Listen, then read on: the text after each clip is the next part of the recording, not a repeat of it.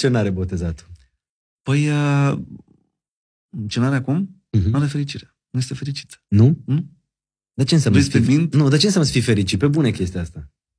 Uh, e foarte simplu. Oamenii, probabil, foarte mulți, se Sunt uită foarte, și zic, sunt foarte fericit. ai casă, ai mașină, ai ceas, ai un job bun, Și- ești celebru. Și cum ești fericit, mă, băiatule? Știi, de multe ori, și poate că lumea nu mă crede, aș da tot, absolut tot, munca asta, dar pot să, uite, să lucrez în mături undeva, dar să fiu sănătos, tun, tun, tun, tun, și să fiu fericit.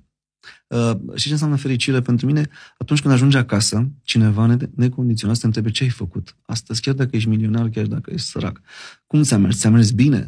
Dacă îi spun mi-a mers bine să se bucure de acest De fapt. Dacă, reușită ta. dacă mi-a mers, de, am avut o nereușită, să fie alături de mine.